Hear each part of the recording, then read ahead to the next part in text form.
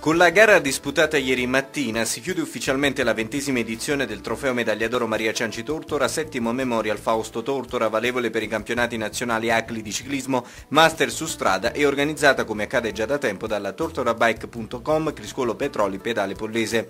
Il percorso ha toccato i comuni di Polla, Atena Lucana Scalo, San Pietro Altanagro e Sant'Arsenio, attraversati quattro volte per un totale di 88 km. Il vincitore della gara ciclistica è stato il giovanissimo Ivangelio di Aversa della SD Black Panthers Motors Cicli Magnum che si è aggiudicato il titolo di campione italiano e la prima posizione nella categoria 2.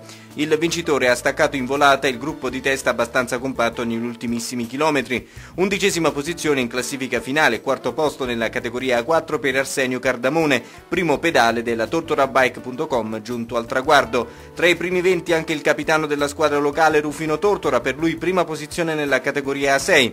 Bene anche per il veterano e anima della tortorabike.com Ezio Tortora che ha sfiorato la prima posizione nella categoria A7. Intanto domenica prossima a Montesano sulla Marcellana si correrà il campionato nazionale della montagna su strada secondo Memorial Toni Camarano.